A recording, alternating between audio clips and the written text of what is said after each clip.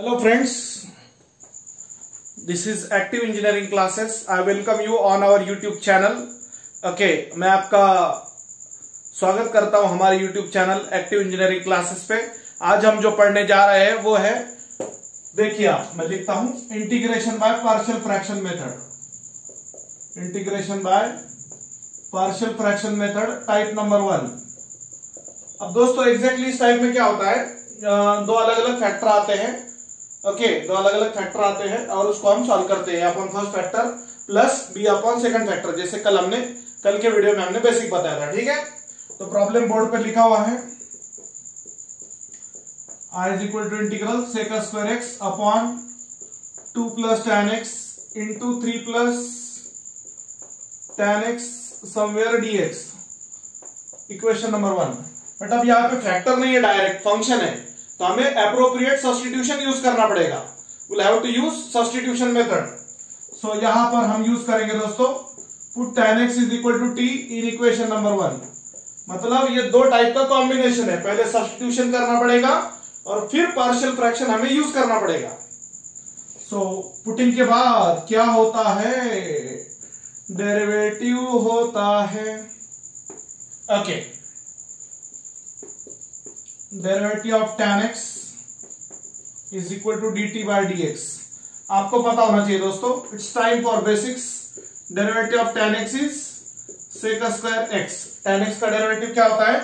Sec square x therefore sec square x is equal to d t by d x अब उधर का division का dx इधर product में आ जाएगा और ये इक्वल टू डी टी हो जाएगा. Therefore equation 1 changes as complete function in x. ये फ्रेम में आ रहा है ना दोस्तों नीचे का? यस नो प्रॉब्लम सो ये पूरा sec square x d x जाके डी टी आएगा। जैसे आप देख सकते हो हमने टेन एक्स को टी पुट किया है और ये sec square x d x जाके डी टी आया है। So I is equal to integral d t upon ये वो आपका two plus t into three plus t dot dot dot tan x की जगह हमने टी रखा है। देखो अच्छे से। टेन एक्स जाके टी आया है और sec square x d x जाके डी टी आया है दोस्तों। यस अब यहाँ पे ऊपर लिखते हैं। So I is equal to integral one upon two plus t into three plus t somewhere d t as equation number two याद रहे टेन एक्स का डेरिवेटिव क्या था दोस्तों? सेक स्क्वायर टी था ओके अब यहाँ पे इसको पार्शियल फ्रैक्शन से हम सॉल्व करेंगे।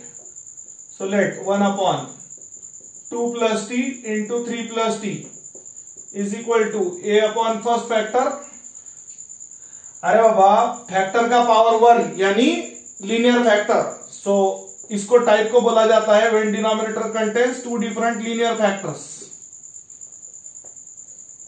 so one upon two plus t into three plus t is equal to A into three plus t plus B into two plus t whole upon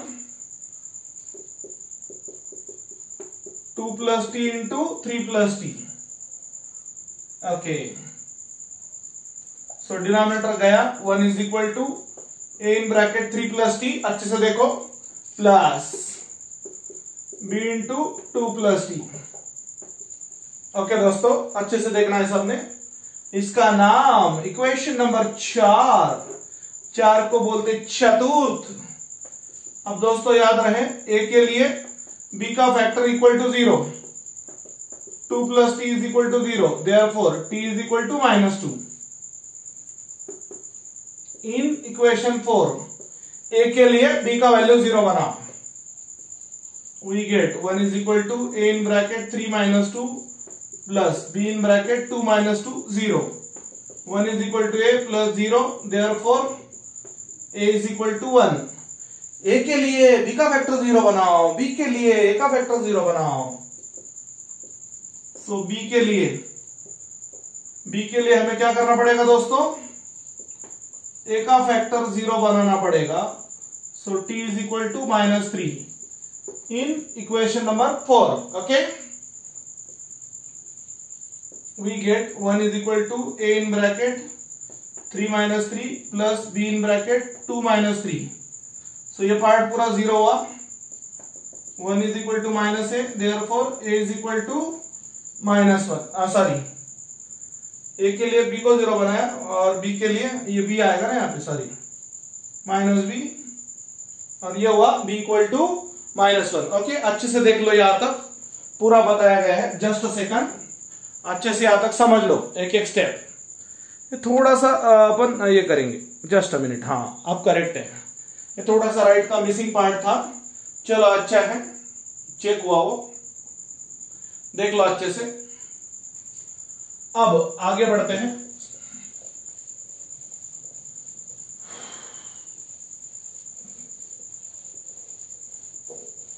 पहले substitution करना पड़ा। इस पर्टिकुलर प्रॉब्लम में दोस्तों पहले क्या करना पड़ा? सब्सटीट्यूशन करना पड़ा। उसके बाद में बोलेंगे अपन put the values of A and B in equation number three equation number three में ए और बी का वैल्यू पुट करेंगे हम। We get one upon two plus T into three plus T A one upon two plus T B minus one upon three plus T equation number पाँच। अब यहाँ पे याद रहे दोस्तों, अच्छे से। इक्वेशन नंबर टू बदल जाता है। ये पार्शियल फ्रैक्शन की वजह से। एक्चुअली पार्शियल फ्रैक्शन यूज़ क्यों होता है दोस्तों? प्रोडक्ट में डायरेक्ट टर्म सेपरेट करके इंटीग्रेशन नहीं ले सकते, इसीलिए प्लस माइनस में लाने के लिए हम पार्शियल फ्रैक्शन यूज़ करते। फिर लीनियरिटी प्रॉपर्टी यूज़ करके हम उसको सॉल्व करते हैं। याद रहे। So I is equal to integral ये जाके ये आएगा। So one upon two plus T minus one upon three plus T somewhere D T वजह the reason is equation number five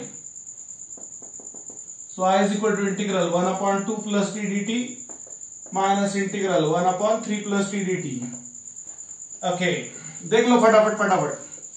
How the things are going to change is the rule integral one upon A plus X D X log of mod of denominator A यानी दो समझो x यानी T A यानी तीन समझो x यानी T ये basic है दोस्तों। ये बेसिक रूल है। कल लिख के दिया था मैंने। इसी टाइप में एक्स प्लस ए लिया क्या और एक्स प्लस ए लिया क्या? बात एक ही थे। Log of mod of two plus T minus log of mod of three plus T plus some constant C आपको पता है इंडिफाइनेट इंटीग्रल है, बिना लिमिट्स वाला इंटीग्रेशन है, इसीलिए दोस्तों प्लस सी आएगा। प्लस सी क्या होता है? कांस्टेंट ऑफ़ इंटीग्रेशन अब यहाँ पे I'm using log minus log log of M by चलो, फटक फटक से, फटक फटक से। मिटा दो। I is equal to log of mod of हाँ। Two plus T upon three plus T plus some constant C okay दोस्तों? बट याद रहे टी का टी का ओरिजिनल वैल्यू था टेन एक्स टी का ओरिजिनल वैल्यू था tan X so I is equal to log of mod of two plus tan X upon three plus tan X, somewhere plus C. So this is the end of the problem तो दोस्तों, बड़ा lengthy problem था। एक एक step आपको बताया गया है। ये बात याद रहे, पहले सब्सटीट्यूशन करना पड़ा, फिर फ़ंक्शन टी में कन्वर्ट हुआ, फिर पार्शियल फ्रैक्शन अप्लाई किया, उसके बाद में ये रूल लगाया। अच्छे से देखो integral one upon A plus X D X log of mod of A plus X और आखिरी में log M minus log N log of M by N okay और आखिरी में टी का वैल्यू वापिस से पुट कर दिया ओके सो इतना मुश्किल नहीं है, आपको अच्छे से समझना है, एक एक स्टेप लिखना है, चलेगा। बाकी की बातें नेक्स्ट प्रॉब्लम कल पढ़ेंगे। Okay thank you